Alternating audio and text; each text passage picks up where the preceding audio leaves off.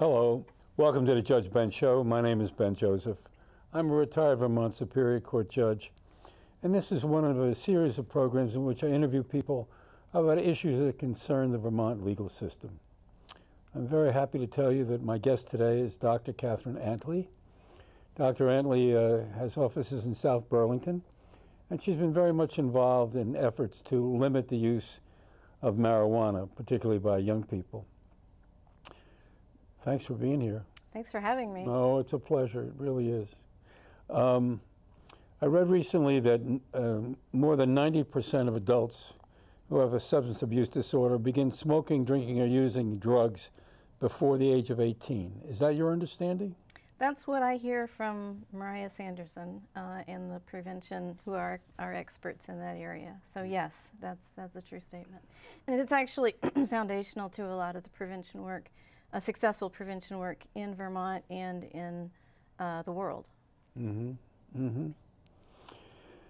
And has the Vermont Department of Health done a lot to try to delay the age of first use of drugs? Sure, that's that's uh, if you delay your first use, as the first statement implies, you'll decrease the number of people who eventually get caught up in use disorder.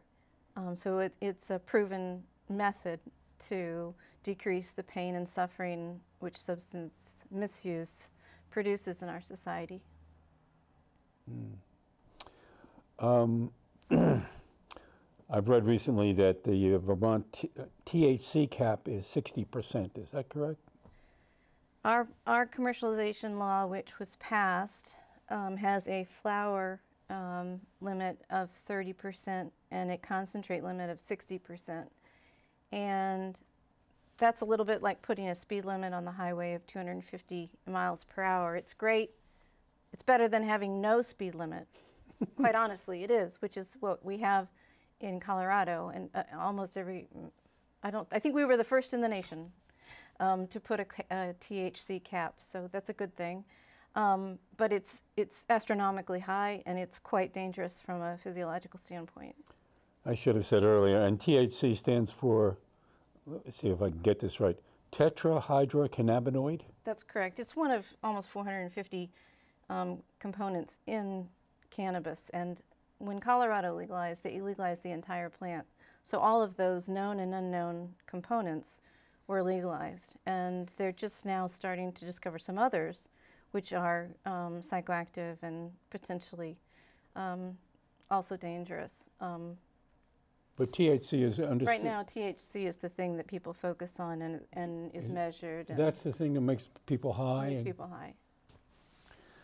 Well, you've mentioned Colorado. I think, I think there's been a fair amount written about Colorado because Colorado was the first state, I believe, to really start to promote the use of marijuana legally. Is that right? Right. It was first uh, legalized in Colorado. And recently, there's been um, really a two year movement in Colorado. People have been organizing and working on educating legislators, especially. Um, about issues around THC for the last two years. And recently, in the last few months, last month, um, they were able to pass legislation which capped, which is aimed at eventually capping uh, their THC levels and, and decreasing youth access to, to marijuana. Um, if you want, I can sort of frame it a little bit in the context hey, you're the expert. Do it. So the first uh, video clip I have is from Dr. Chris Rogers. Mm -hmm. And he's the medical director of one of the largest, the largest, um, I believe, non-publicly owned uh, psychiatric facility.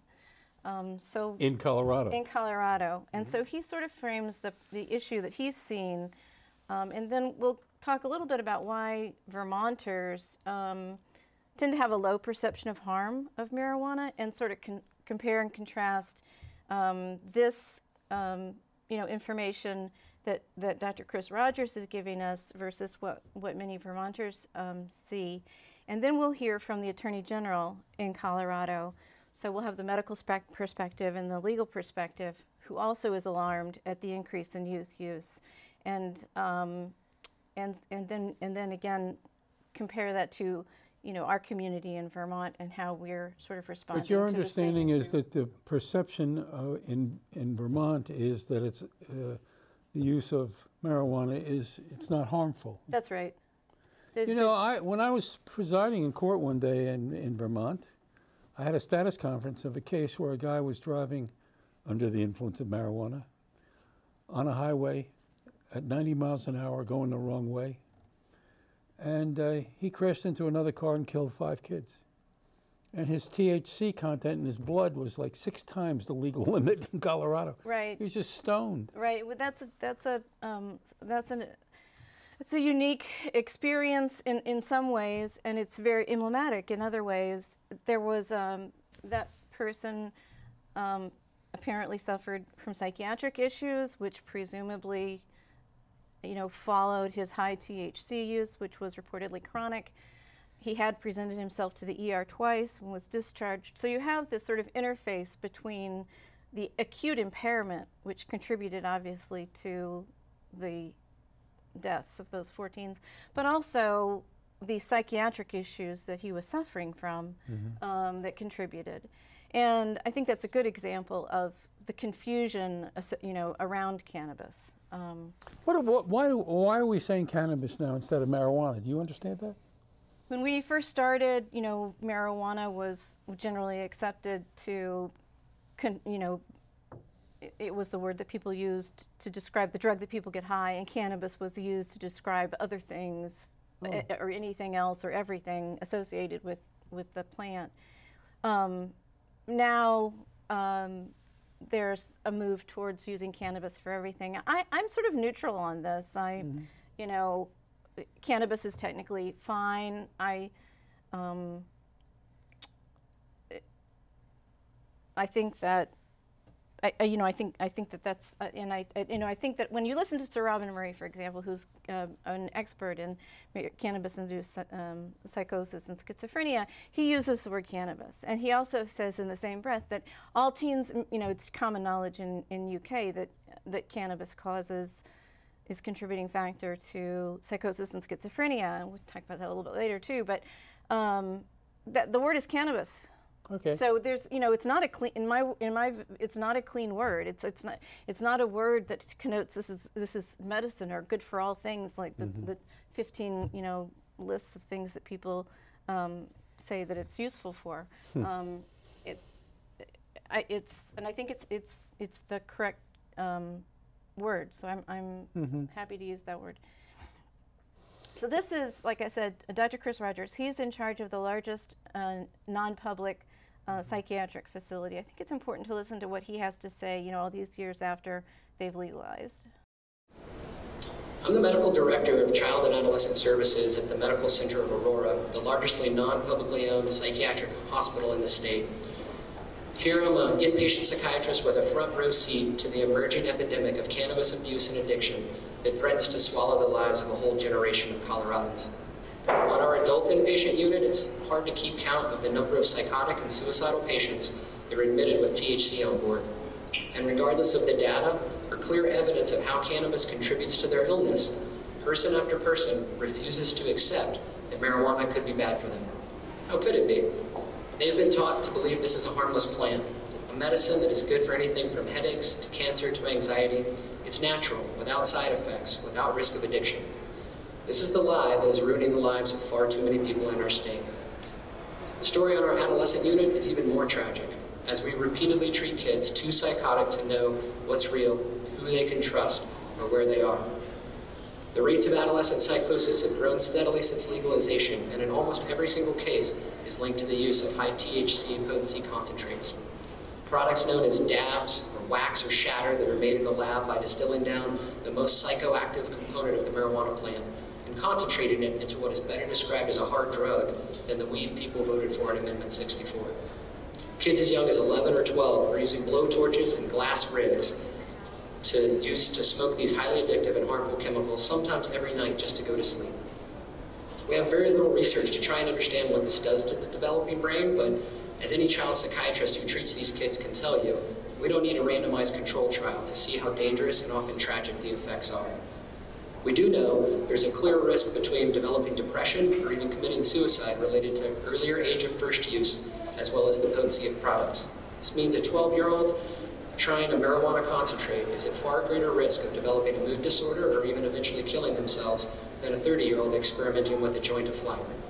Unfortunately, it's far too easy for these 12 year olds to get access to these products, and not from the black market or a shady drug dealer.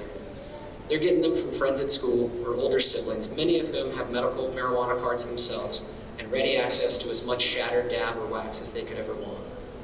It's time for this to change. House Bill 1317 will provide stronger safeguards to keeping cannabis products out of the hands of Colorado's kids. Having reasonable limits on daily purchases of these highly addictive substances makes good sense.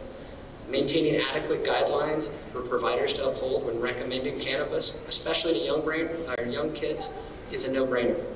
We need a more robust tracking mechanism to better understand who is using medical cannabis products, how much, and in what form. And Colorado should be leading the way in researching high-potency THC products. We certainly are leading the way in their sales. We have a long way to go to help the kids in my hospital, but House Bill 1317 is a great place to start. The whole country is watching Colorado as other states look to legalize cannabis. Let's lead the country into a sustainable and responsible future we can all be proud of. Thank you. So that's Dr. Chris Rogers, and it's, uh, I mean, that's a very powerful statement. Um, he's talking about the kids in his, um, in his hospital and how sick they are, and not just children, but also not just teens, but also adults who come in, and they often have this idea there's nothing wrong and they don't understand why they're ill. Mm. Another person I think is really important to listen to from that same um,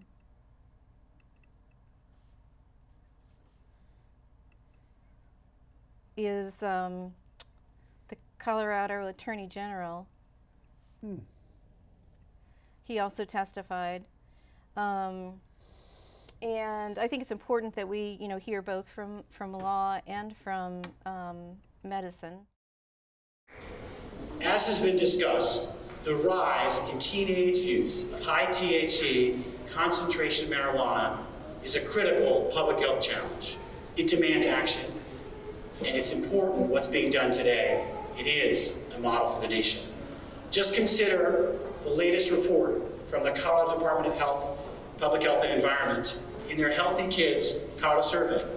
They surveyed the use of dabbing, which has been discussed, a way of accessing high THC potency.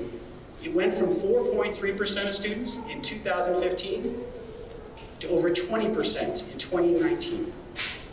This is an alarming rise, and this House Bill 1317 represents an important and a critical response to this threat. The Substance Abuse Trend and Response Task Force, which I chair, and Matt Bach, who's with me today, head of our Office of Community Engagement, is the vice chair, has focused on this issue with leadership from parents, from public health advocates, identifying this troubling trend. This legislation meets that trend and addresses the fact that our medical marijuana laws have enabled teen access to high potency marijuana. As we in Colorado work to address this public health challenge and refine the regulatory program for overseeing legal cannabis, we need to do so in a way that protects kids. So um, what he's saying there is that teen use has teen use of this high THC dabs, which they use a blowtorch to use and whatnot, um, has increased from 4.8 to um, almost 5 percent to 20 percent.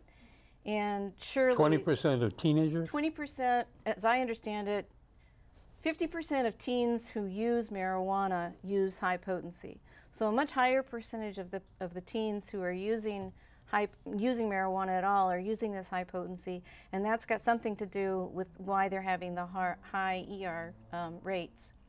And if so they, they go to an emergency room for treatment of psychosis. Right, and we're seeing that in Vermont too. And so I want to talk a little bit about why Vermonters have this inappropriately low perception of harm um, of oh, cannabis use. Please, please, and, please do. And and what is the um, you know impact on our policy in Vermont, and also misuse rates and youth use rates.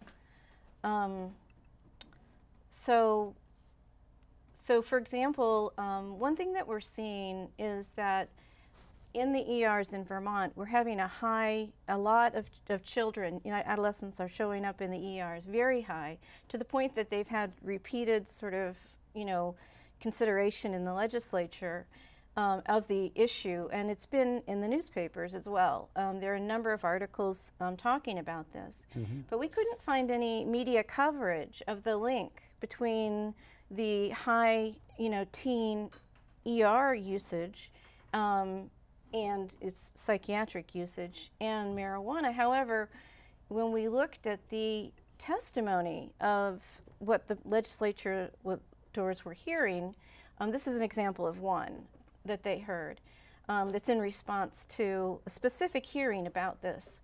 And this is from a child psychiatrist. Um, I spent last weekend on call in the ER department, talking to kids, talking to adults, and I have observed over my time on call that a significant portion of young people who are hospitalized psychiatrically or come to the ER department are heavy cannabis users.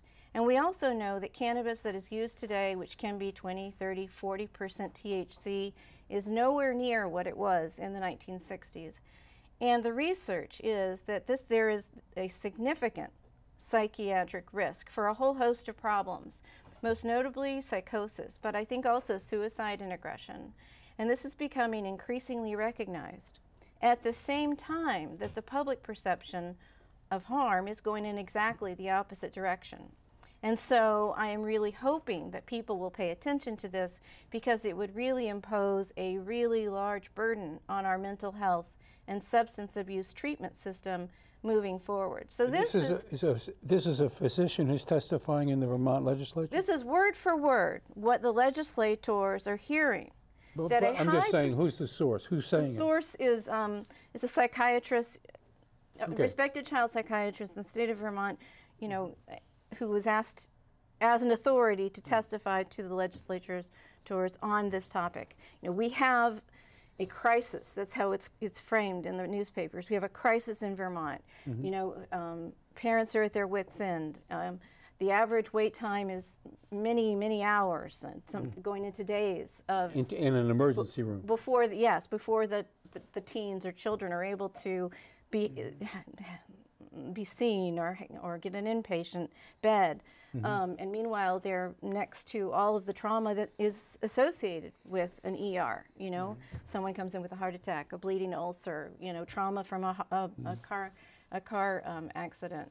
So they're subjected to all of that while they're waiting and and they're suicidal or they're psychotic. And, and a psychosis is a medical emergency by definition, um, or it was according to whoever admitted these children. Let's put it that way.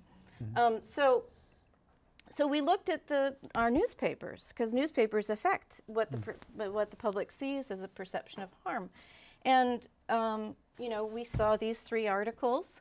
We read through them. No mention of cannabis-induced psychosis, um, or that cannabis may be a contributing factor to suicidality, which apparently was mentioned in the in the car, um, the five teens and the driver of the the, the, the, the truck in that case.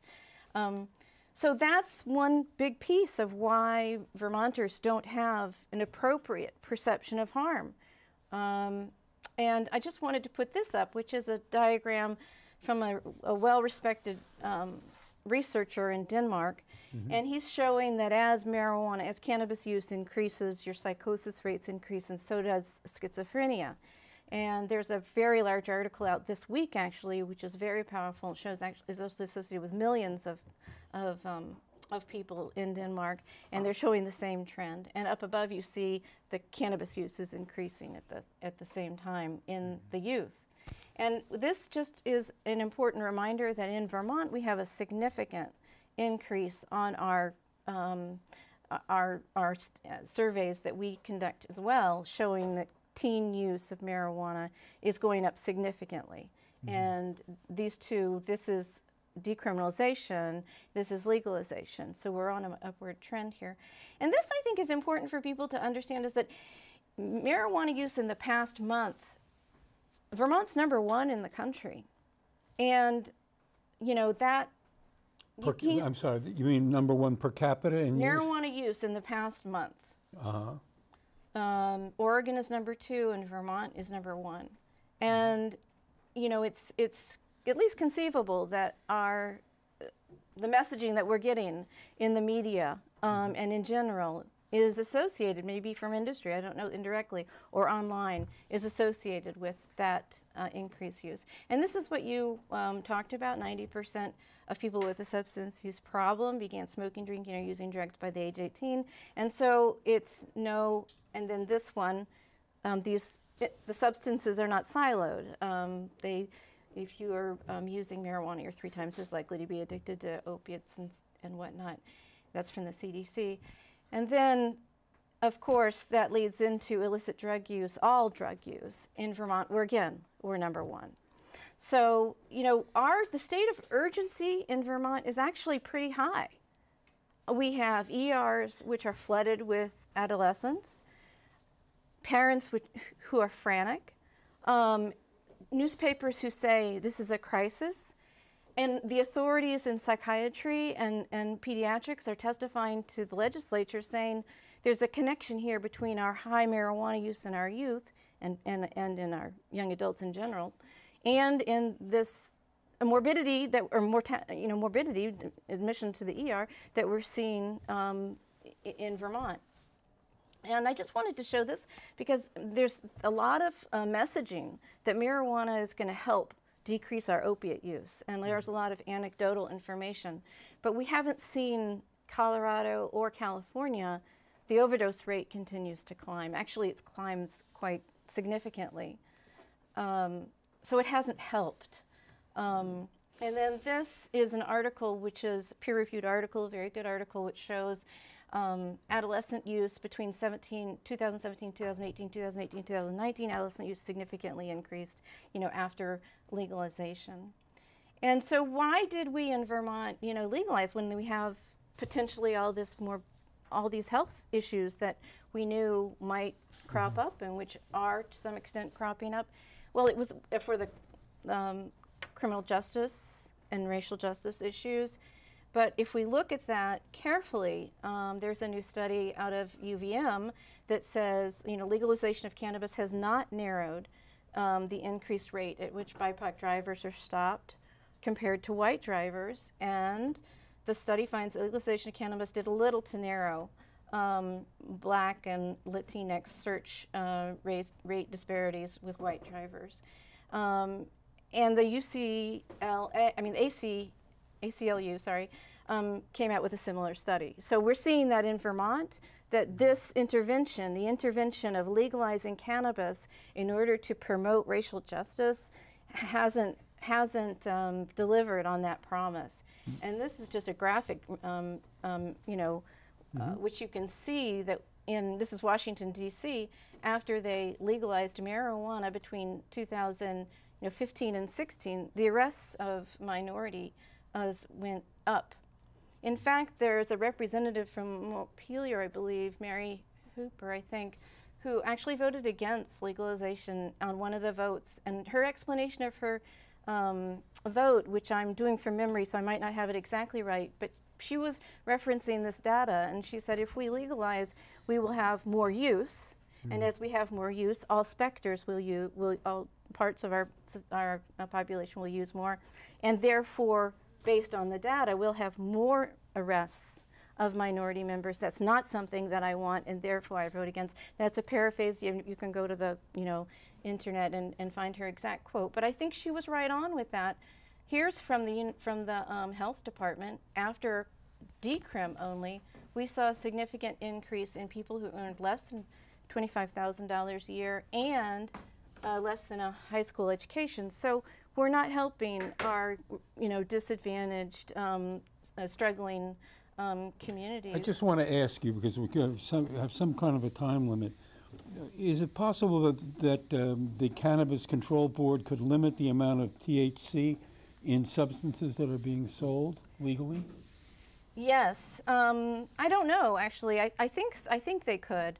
I know that we have the one limits, you know, that I mentioned there, but um, I think that's something that if people were concerned about the psychosis ending up in the ERs, they could call the governor's office and ask for, you know, physician or public health representatives on the Cannabis Control Board to put forward that idea so that what our policy is, is based on science. Um, because, you know, in the United States, what's happening around cannabis is we're having a change in policy around a drug, which normally would go through the FDA, the EPA, the um, and we're asking ordinary people, citizens, to make these determinations, and yet we're not having, you know, uh, we're not having messaging from our media which reflects what's what the science is really out there. So, for example, this quote from Beau Kilmer, we had one of our our um, media newspapers of record refused to print this and all it says is commercial cannabis industry must focus on creating and maintaining heavy users dependence is good th- for the bottom line our free speech doctrine makes it very difficult to restrict advertising and marketing and that's from Beau Kilmer of the rand report. Um, you know a quote from his uh, senate finance committee but we didn't get any of that in the media. And i think that contributes to our, le- our um, decreased perception of harm. And um, this is something from Jonathan Caulkins, which I think is also really important that, that the public understand that this industry is really not interested in someone who uses casually. 80% of their profit come from people who have a use disorder or dependency Or who use it daily? who use it daily and sometimes astronomically, all day, every day, high potency. That's where their profit center is. That's why they want high potency THC. They need high potency THC for their profit. And this is a very uh, interesting quote from Jonathan Caulkins talking about this in the past, but he was he saw the future. He said already 80% of sales are daily um, are near daily users. Half of all the sales are to people with a substance use disorder. Uh, occasional users who make up the majority of pot customers account for only a modest share of the sales, but may provide political cover for an industry that gets rich supplying people who struggle. The I think- damage. I think we've really run out of time. That's a good place to stop, actually. That last, last thing you just said.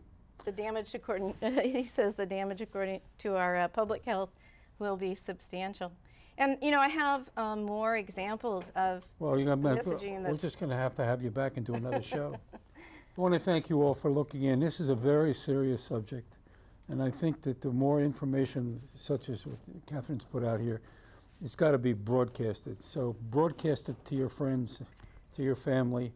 It's very important, very important to help our children. Thank you for looking in. Bye-bye.